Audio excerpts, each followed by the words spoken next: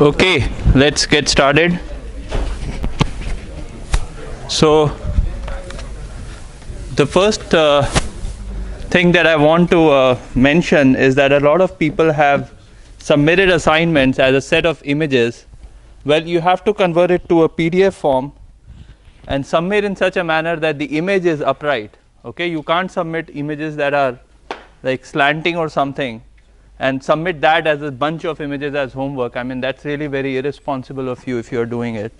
Uh, you know, the grader is not supposed to unzip your file and put all the images in the right set, right sequence, right order, and then grade it and then give you comments. I mean, that's very, very irresponsible behavior, and you shouldn't do it. The second thing is do not submit a zip file. If you have made errors, if, if, if you submit as a M file, the grader can go through it within that uh, within the space and they, then he can point out where the mistake is. If you submit it as a zip file, then the grader has to download it and then he has to go through the code and uh, try to uh, give you feedback on your code. So that's really again not a good good habit. Uh, the third thing is make sure all your functions are within the same M file. You can't submit a part of your M file and then leave out the rest of the functions that are called within that M file because a lot of people have done that and you have received less marks than what you deserved because you haven't uploaded the complete code. So the grader cannot run it at his end. So please don't do that as well. I mean, it's uh, uh, these are some things that you should you should already be uh, you know thinking about how much time or effort the grader has to give onto each of these assignments. And if you do things like these, it really becomes very difficult for the grader to go through individual codes and troubleshoot it because it's not running for whatever reason it's not running. Um, so that's the important thing. So in the next assignment onward, which is assignment 3 onwards, if your submission is not up to the mark, if it becomes very difficult to grade, you get straight off minus 10 points. Okay, so make sure you submit a PDF, make sure your codes are well written, well, and all the codes are within the same M file, so the grader doesn't have to look for other helping files here and there in order for him to be able to run your code. No, no, no, no, no. So problem 2b, you should have one M file. Okay. So what some people have done is for problem 2b, they have written three or four different functions, and then they are calling all the functions in one master file, and then they have uploaded only the master files and not the other four functions that they were calling in the master file. So in MATLAB, you can write all the functions within the same M file, and you can write a function that, I mean, you can write the code such that all the functions are defined within the same M file. You don't have to call something from outside like a different function or something. So don't do that. I mean, it's not a good practice. I have a question. Yeah. Uh, like assignment two, uh, problem 4b. Uh-huh. In order to uh, operate the uh, the code, you need the value of Q matrix. Right. Which is you get from problem A. Correct. So should I do it again in this in the uh, M file? I mean, you can just submit problem 4. You can just submit one M file for entire problem 4 if you think that makes more sense. That's fine. A long code is better than grader downloading five different codes and running it on a single machine. Confusing which one is A, which one is B. It's not. You can always write comments in your M file. You know there is this percent sign and then with percent size you can write the comment solving problem A, solving problem B, solving problem C and D and so on. Okay? So that's what it means for you to have a well documented code. Okay, so you write what exactly are you doing within each section so that the grader doesn't have to apply his own mind to figure out, oh, you might be using Armijo rule, or you might be using some other step size or whatever you're doing in your particular code. Okay, so that's that's the important thing. No zip files, and submission should be a PDF file. Okay, you cannot submit images as your assignment. It has to be a PDF file. Sorry. No, not for assignment 2, but assignment 3 onwards you will lose points if you submit a zip file. Okay, and for the project, uh, you know, many of the jobs that you will find these days, you know, the job postings, it will always say you should have good communication skills. So use the project as a way to improve your technical writing skills, okay? And there are two books that I found really good to help me improve my technical writing when I was a graduate student. One of them is Keys to Great Writing. It's a book for journalists but the ideas are applicable in any areas of science and engineering or journalism or whatever. Okay. Uh, there is another good book uh, by 50 strategies for a successful writer. It's also very good. You should use. I mean, if you think that your writing is not up to mark, you definitely should use these books to improve your writing skills. It's very, very important to know how to write well. And I will definitely give you feedback on the project reports that you will submit about whether you are writing doing a good job of communicating the ideas effectively or not. Okay, so don't take it in the negative light. You should always try to improve your skills and maybe look at some of these books to improve your writing, communication, and so on. It's really very important uh, in, in order to grow in your career. Oh, and that reminds me the executive summary should comprise of what's the problem that you are targeting, what have you already done, what do you plan on doing in the future. Okay, those are the three three paragraphs. It should span one page, and that's all you have to do. What is the problem? What have you done? What do you plan on doing in the future? Okay, so for instance, the problem is optimizing something, optimizing the a sensor network. I don't know what that problem even means. Okay, optimizing a sensor network. I have looked at paper one. It has blah blah blah algorithm. In the future, I'm going to look at paper two and three and study the algorithms and compare the two, the algorithm with the algorithm that I've just studied. Okay, that's a possible executive summary, but not so short. Okay, it has to be a slightly longer than what I said. Okay, what is the problem? What have you done? What do you plan on doing in the project? Okay. Maybe some of you have already done the project. Is there anyone in the class who's already done the project, like written the eight page report as draft? No one? Okay. All right, okay. Uh, okay, so I want to continue our discussion about linear programming with barrier method. So,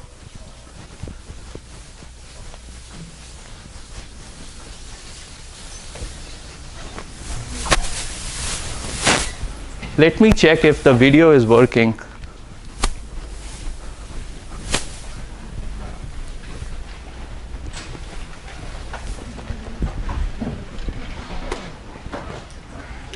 Okay, seems like seems like everything is working. So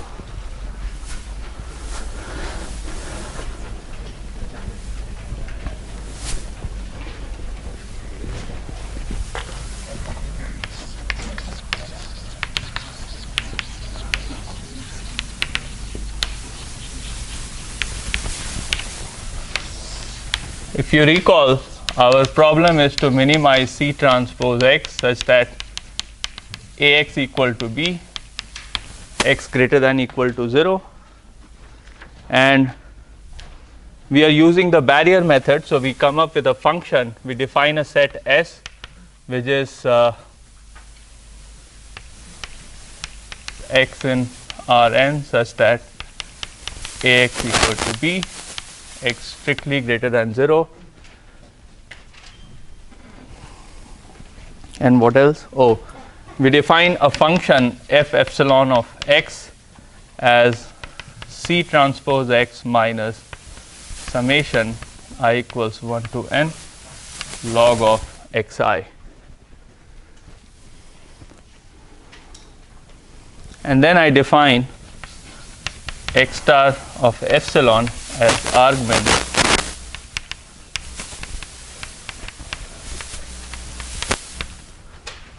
of f epsilon for x in S. Sorry? Should there be an epsilon in that equation? Oh, yes, absolutely.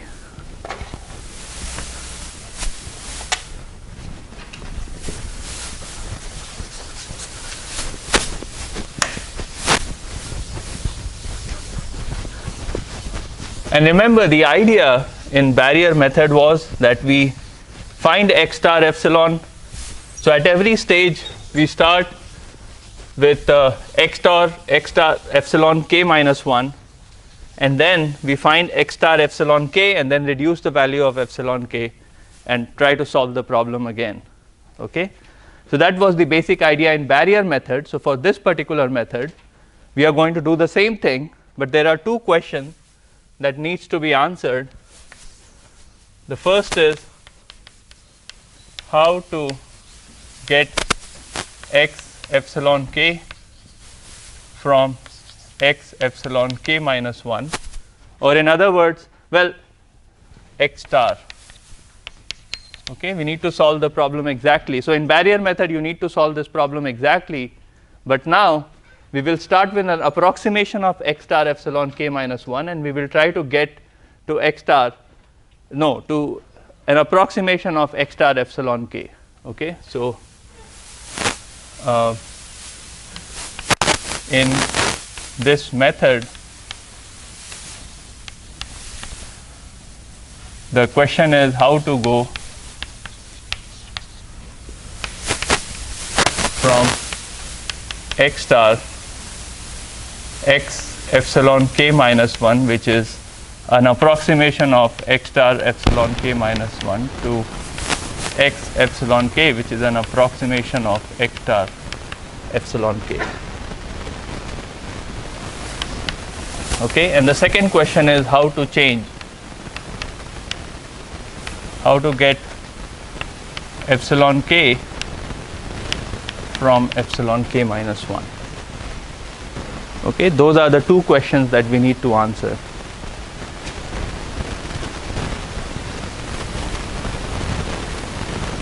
Any questions so far?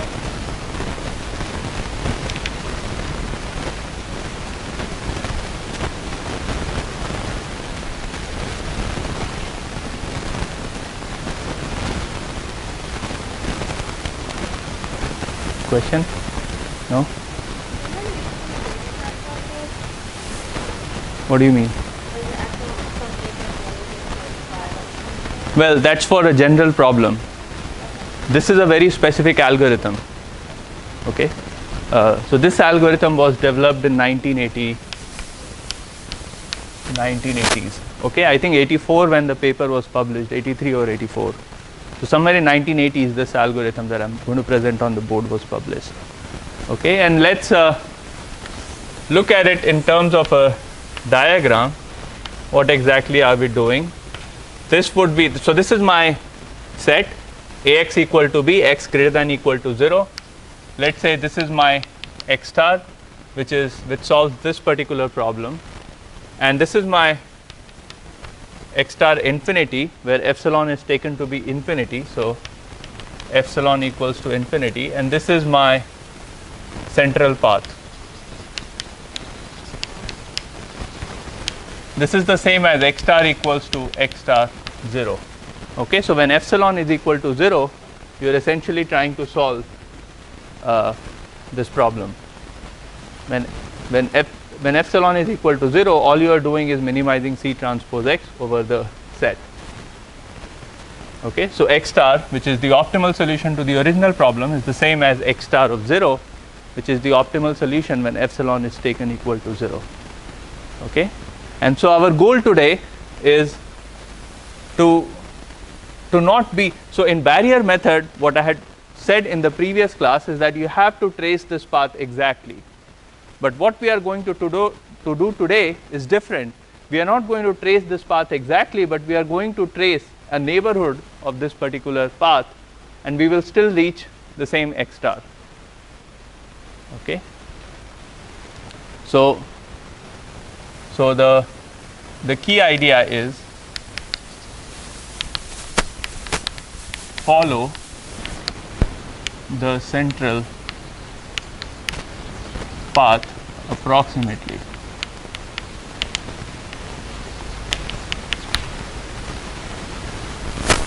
That's the idea that we will follow today.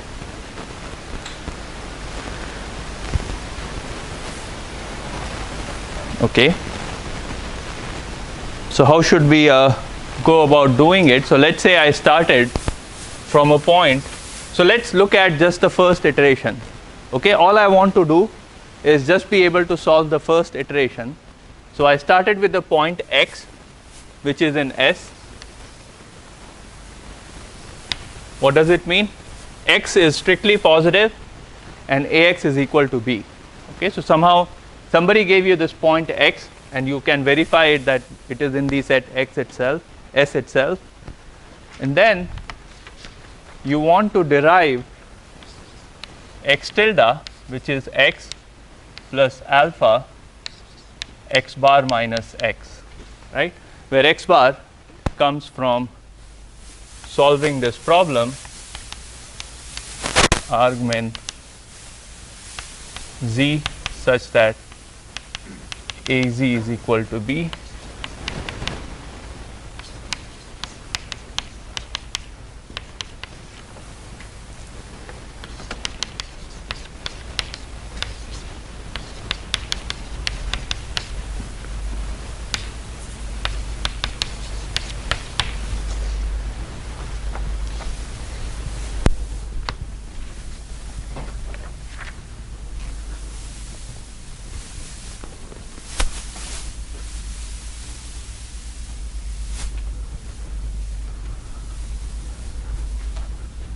okay and we will pick a value of alpha through our Armijo rule or through some such method. Uh, we'll get to it towards the end. Okay how to pick a value of appropriate value of alpha. But everyone remembers what this method is. This method we had covered this method. I forgot the name but I think it's uh, it's conditional gradient. No it's not conditional gradient. Which method is this gradient projection right? This is the gradient projection method for solving an optimization problem over az equal to b space. Is it gradient projection? Yeah i think it is gradient projection.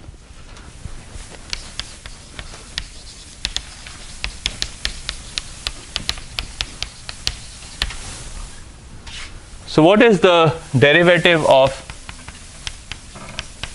f epsilon at x. C1 minus 1 over x1 cn minus 1 over xn.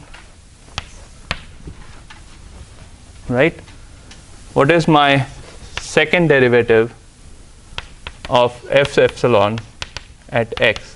Remember i can i can take the inverse of x1 because i know that x1 and x2 and x3 all of them are strictly positive. Right? So inverse is well defined because each of these values are greater than 0 what is the second derivative of f epsilon x? That's 1 over x1 square 1 over xn square 0 0 so i'm going to write it as x raised to minus 2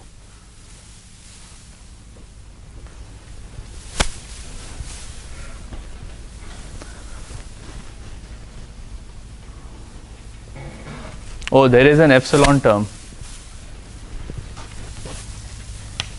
Epsilon.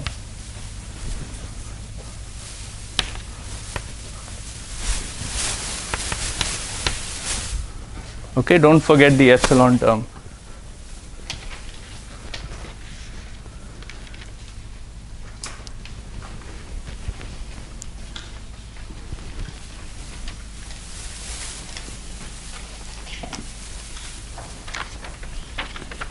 Okay.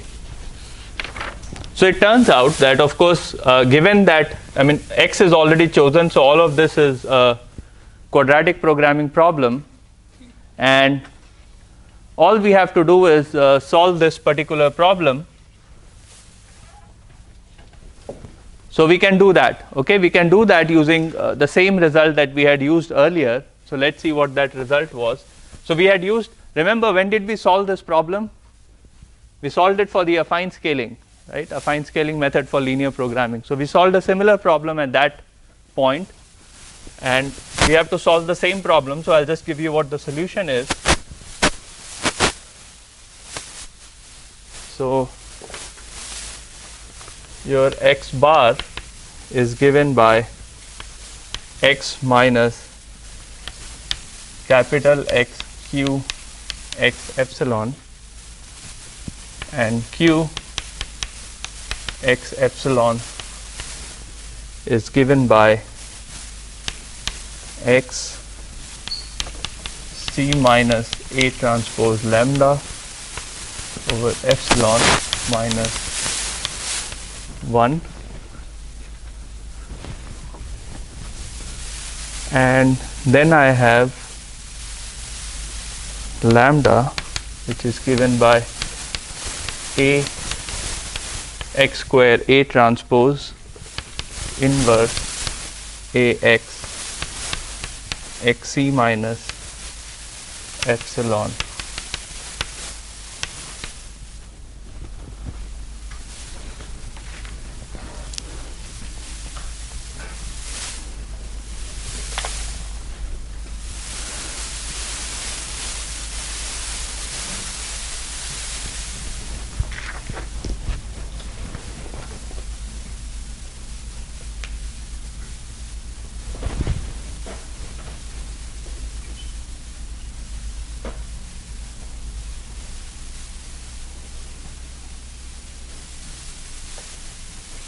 okay? So this is this is correct. I haven't made any mistakes here. Okay? So this is the this is the solution. This is the solution to this particular optimization problem.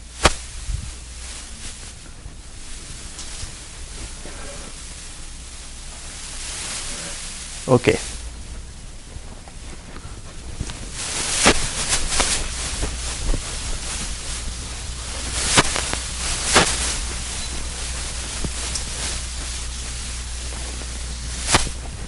I'm going to rewrite this as follows. My q of x comma epsilon can be given as x inverse x bar minus x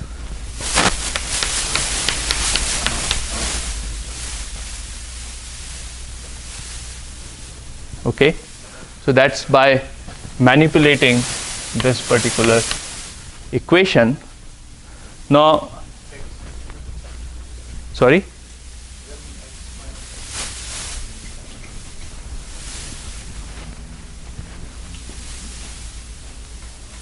No? Uh, oh. Oh i see. So there is a mistake in the book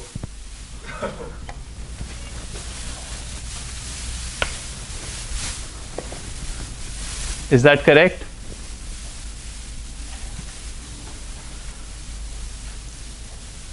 Okay, good. So now I have to tell the author uh, there is a mistake at this point in your book.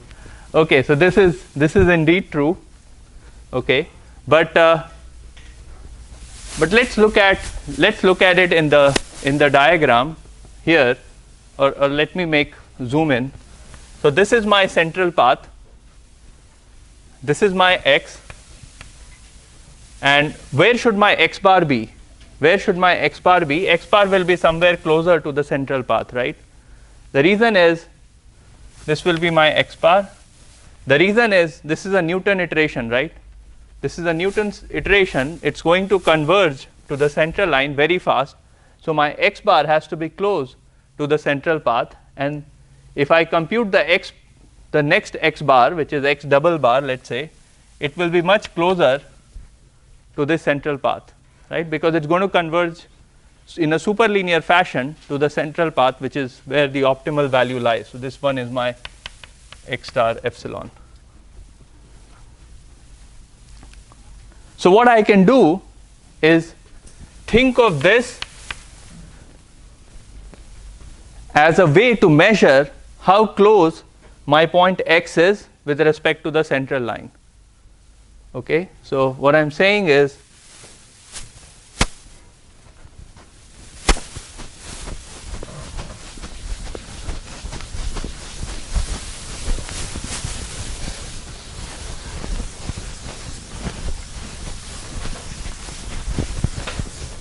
what I am saying is q of epsilon is measure of proximity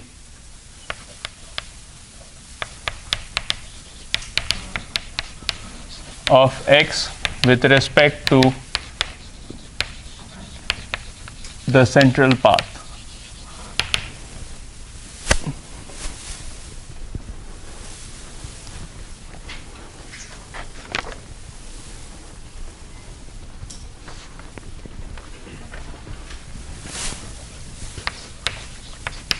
X star epsilon.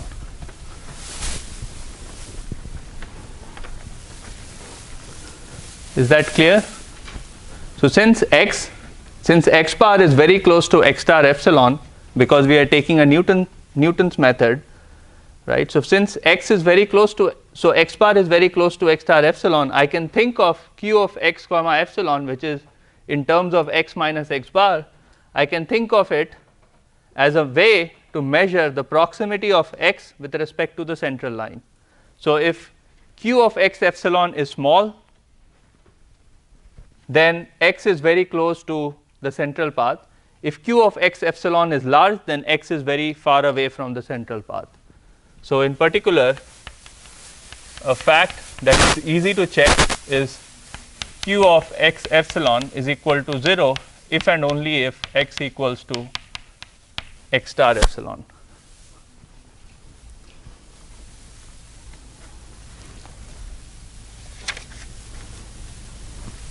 Okay.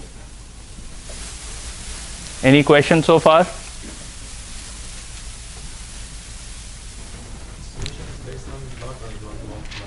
Sorry? Well, you mean how do I get this expression? Uh, there are multiple ways of doing it. One of them is the easiest method that I know of is through Lagrange multiplier, but we haven't yet studied. lambda here is the same as Lagrange multiplier corresponding to ax equal az equals to b constraint. Okay. So so yeah, but uh, you can you can come up with the same result if you use the KKT conditions. This is a convex problem, so you can use KKT conditions to derive the same result. Okay. Any other question? No? Okay. So hopefully by now you are convinced that what we have to figure out or what we have to keep track of is q of x comma epsilon. So we'll use this idea, the fact that the closer q of x epsilon is with respect to 0, the closer x is with respect to x star epsilon and it's now time to reduce the value of epsilon. Okay. So the first proposition along this line is x is in S, q of x comma epsilon is less than 1. This implies that x bar is in S and q of x bar comma epsilon is less than equal to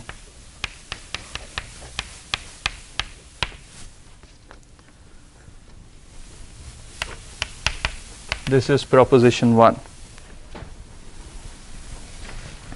okay so there are there is really two parts of this result. First of all if you remember we hadn't imposed this constraint that z has to be strictly positive in our in our optimization problem for x bar okay i don't have the problem here so i can't show it to you but remember x bar was argument over z such that az is equal to b of some optimization problem, right? So z greater than 0 was not imposed as a condition here, but it so turns out that x bar that you obtain will also lie in S, which means x bar will have strictly positive entries. Okay, that's a conclusion of this particular result. So if x is in S, so if x is in S, okay, away from boundary, so x is here. If I compute x bar and assuming that x is close to uh, the central path, then x bar will be much much closer to the central path and you can exactly quantify it using this relationship. And moreover x bar will also be in S okay? So x bar will also be away from the boundary. It will be closer to the central path. Okay? So that's the two parts of this result. Uh, we'll not prove it because the proof is somewhat involved uh, but it can be done okay? All you have to do is go through a set of series of inequalities and prove that each inequalities hold true and then you will you will be able to prove this result. Uh, the proof is given in the book. Okay? So the upshot is x bar is very is close to the x star epsilon.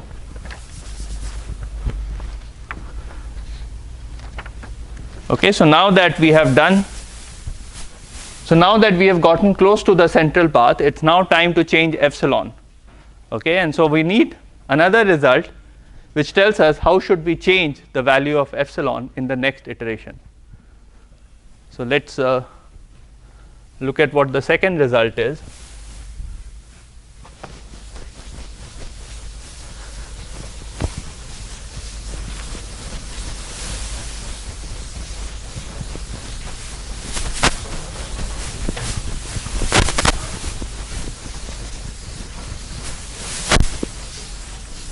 Okay.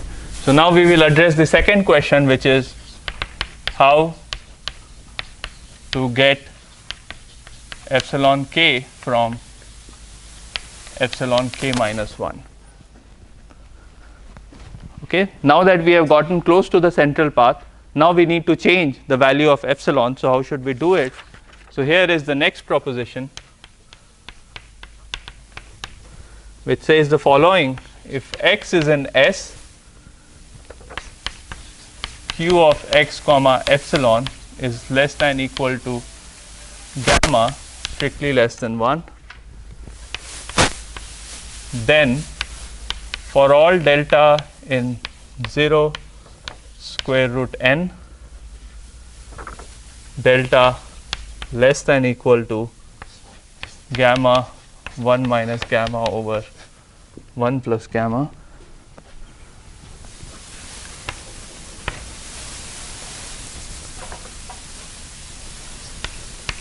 define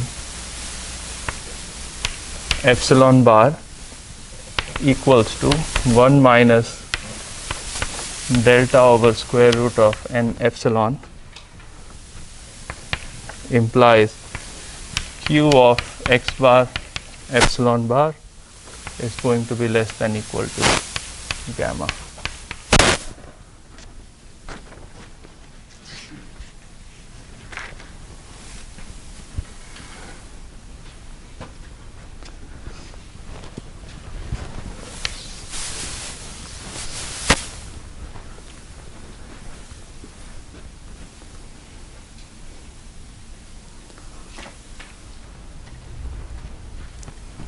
Okay so let's look at we'll look at the picture in a bit. I'll let you guys write it down.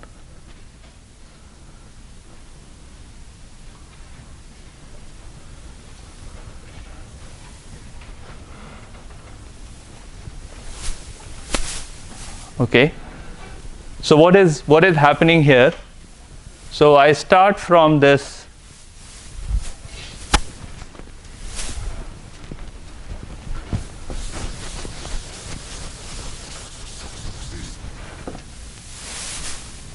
let's say I have this set okay and this is my central path. I started from x at a very at a particular value of epsilon. I came at x bar okay and this is let's say my x star of epsilon. So I started from x.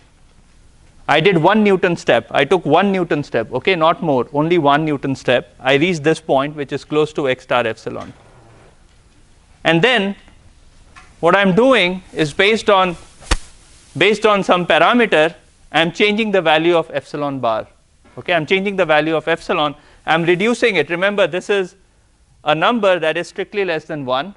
So, I am reducing the value of epsilon. Okay. So, I reduce the value of epsilon. So, this is my x star epsilon bar okay. and starting from this point I compute the next Newton iterate let me call it x double bar. So, I came from this point to this point from this point I will arrive at this point which is the first Newton iterate starting with x bar and with the value of epsilon to be, the value of epsilon will be changed to epsilon bar which is strictly less than epsilon. Okay. And what the result says remember what is q? X bar epsilon bar. This is proximity of x double bar from x star epsilon bar. Okay that's what this means right? Oh proximity of x with respect to the central path. So this will be proximity of x bar from x star epsilon bar. Okay? So it turns out that x bar will also be close to x star epsilon bar. So this x bar will be close to x star epsilon bar. And when I get x double bar from this expression from this expression we know that it will be much closer to x star epsilon bar than x bar was. Okay, so this distance will be larger than this distance. Okay, that's what this proposition 1 is saying. So, what we do the, the way the algorithm will work is we start with some arbitrary point x, we get closer to the central path, I mean we pick a value of epsilon naught, we start with some arbitrary value x, we run multiple Newton's iteration to get closer to the central path in the first step. Okay. And then all we have to do is I mean all we have to make sure is that q of x comma epsilon is strictly less than 1, q of x comma epsilon is strictly less than 1. Then I can change the value of epsilon in this fashion.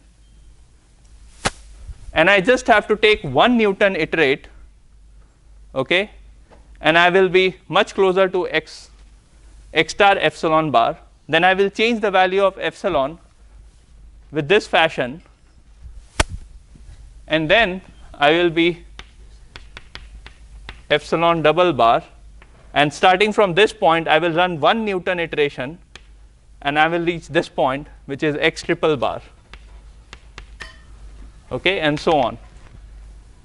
And we will keep using proposition 1 and 2 in tandem. So proposition proposition 2 then proposition 1 then proposition 2 for proposition 1 we'll keep doing this until we reach the optimal point which is here x star 0 okay is that is that clear? Any question?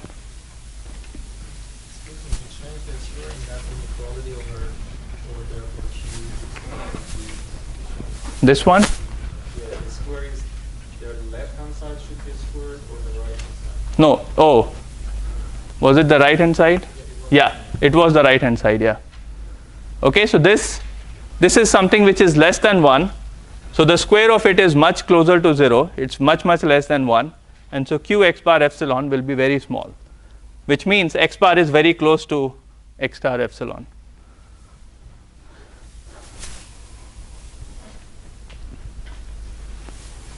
Okay so is it clear how we are approximately following the central path?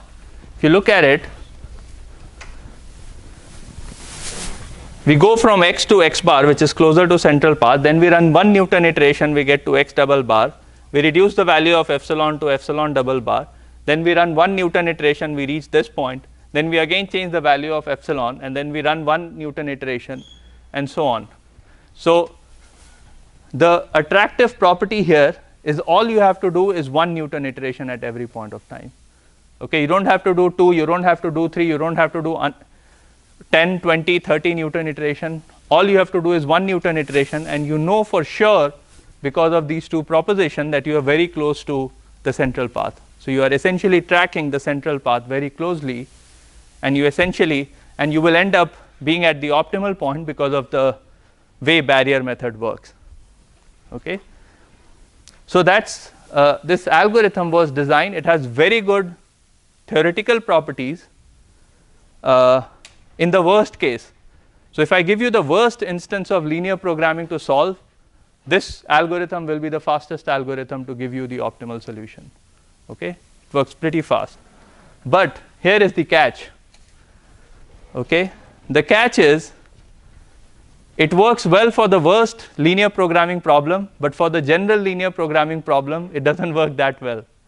Okay, so it is the best algorithm to solve the worst problem, but not the best algorithm to solve an average problem.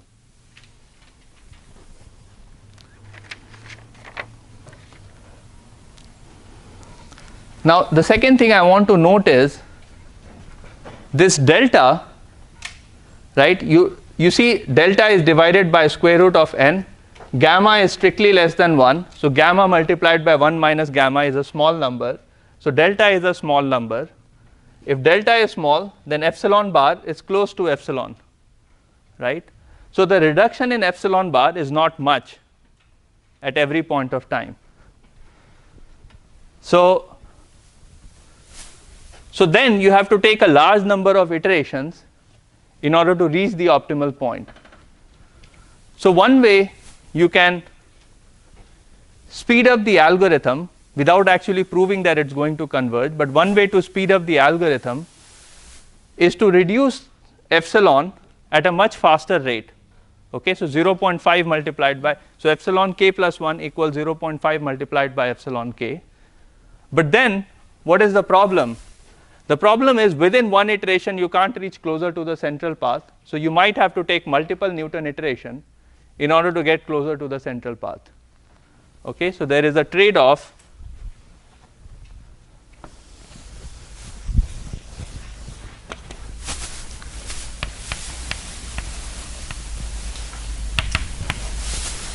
So the trade off is as follows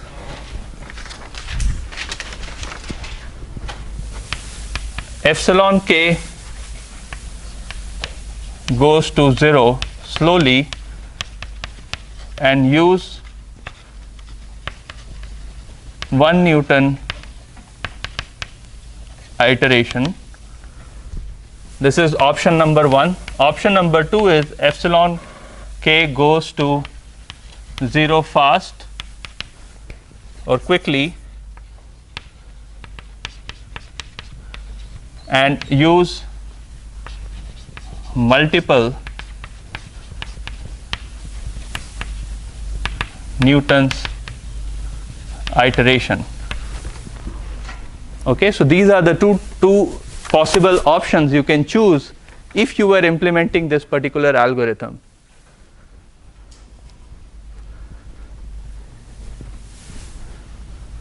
So what's happening in number 2?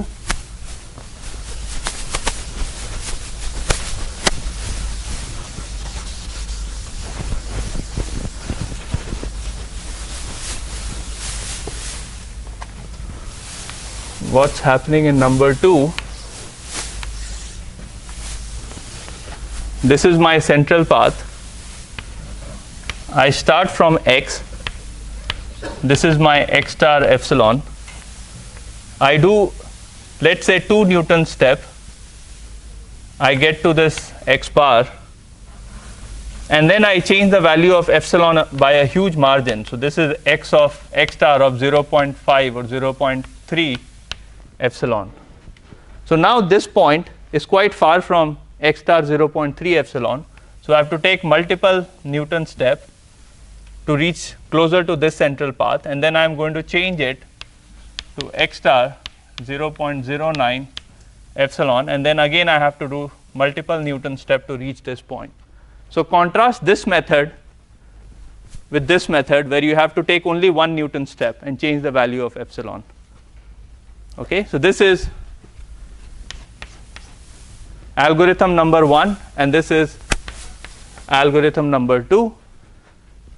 Algorithm number two works well in practice algorithm one, number one works well in theory. Okay. Sorry.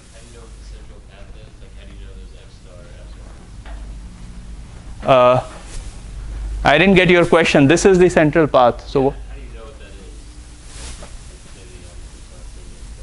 I see. So you're saying how do you visualize the central path in higher dimension?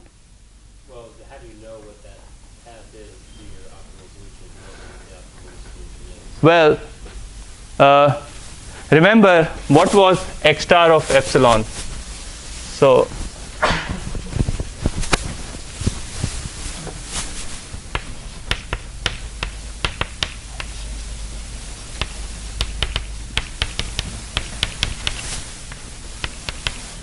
right this was my x star of epsilon and I know that f of 0 of x is equal to c transpose x right? So when epsilon is taken to be equal to 0 then what you have is the original problem. So you know that a central path like this exists. Okay? There is no there is no doubt about that. There is no question about that. That's always going to be there. Uh, the only thing is how do you trace? You have to get closer to the central path and then trace it. So you don't really know where the central path is. I mean matlab when you put this function in the matlab matlab doesn't know where the central path is So if you're just getting close to the central path every time as you get closer to the optimal solution, you ever actually reach the optimal solution or just get close to it? You just get close to it in this case. Because the barrier will always prevent it from from getting at the optimal solution because the function is infinity right? So uh, but for most problem it's fine if you're close to the optimal solution. You have a tolerance level and you're fine as long as you're within that tolerance level. Okay? Any other question How do you pick the initial value of epsilon? How do you Pick the initial value of epsilon? Oh, that is arbitrary. Anything, 10, 15, whatever you want. Yeah, there is no there is no guidance about what you should do, what you should pick as initial x naught and initial epsilon naught.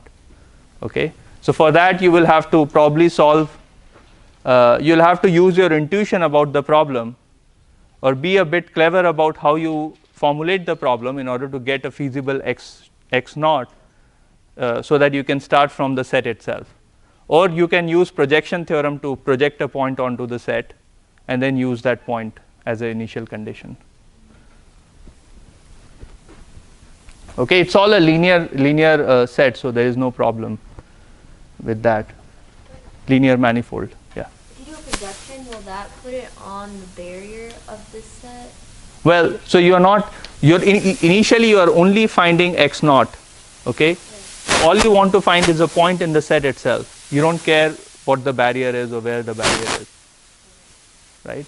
So let's say let's say this was your initial set, right? You started from a point here, then you project it onto this set. You reach here, then you try to move in some direction within the set itself so you are always strictly positive. So all your entries are strictly positive. Okay so you it might require some amount of trial and error some amount of random uh, using random numbers to figure out where exactly you should go right? But it, it's not very difficult problem to find a point within the set itself. In fact for the manifold suboptimization i've given you what the initial point should be right? If you if you have attempted that problem which i hope some of you have but if you have attempted the manifold suboptimization problem i've explicitly given you what your initial point should be so that you are within the set itself within the set of feasible points. Okay any other question? No? So if you are a phd student you should go with number 1 algorithm number 1 because you can prove nice things about it this is the best algorithm for the worst possible linear pro- linear program that you can get. But if you are a practitioner if you are a master student if you want to go to industry this is the algorithm you should love okay? Because it's a hack. You can't prove that it works but it works.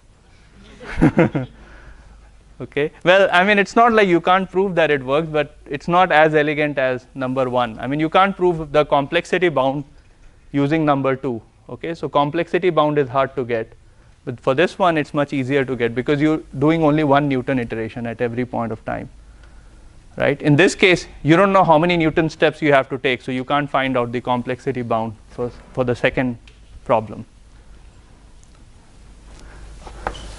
Okay.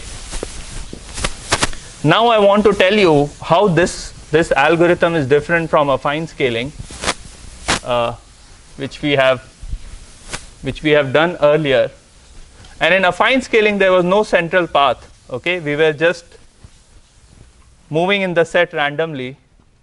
So in affine scaling,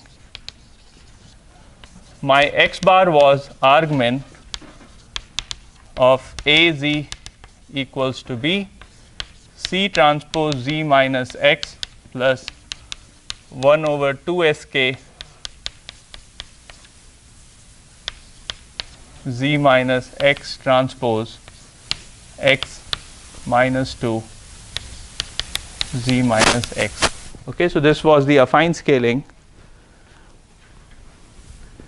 And in this, in the barrier method, which is also known as interior point method, uh, your x bar is argmin az equals to b C transpose minus epsilon 1 over x1 1 over xn or rather